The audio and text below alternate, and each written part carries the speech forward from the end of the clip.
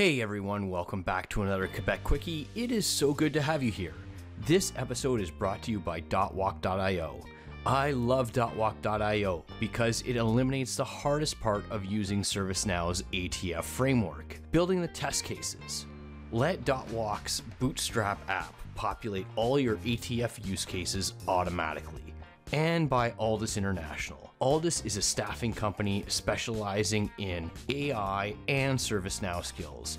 I love Alldus because with their AI podcasts, they're really paying it forward in the ServiceNow world. Check out the description below for how to contact the sponsors.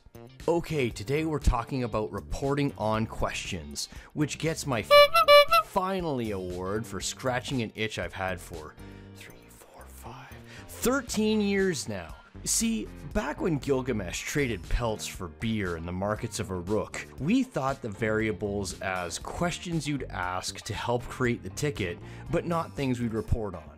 Joke's on us. If people can see it, they want to report on it. To some extent, we've had the ability to report on catalog variables, ish, but now we can finally report on variables asked in record producers. Did you know that variables on record producers have the results stored in a completely different table? That's why variable reporting was always a half done solution.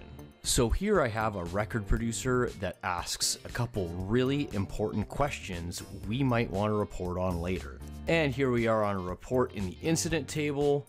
I'm going to add a criteria that uses a question. So I'm going to the question section. I'm going to find the record producer that I had, report and issue demo, and then I'm going to do the did this prevent you from work and make sure that that's yes. Furthermore, I'm going to choose columns and add the column for how much damage we thought this did.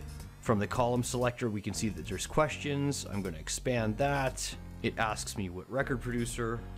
I'm to use my report and issue demo. I'm to put the column of how much money did this cost us. Run that.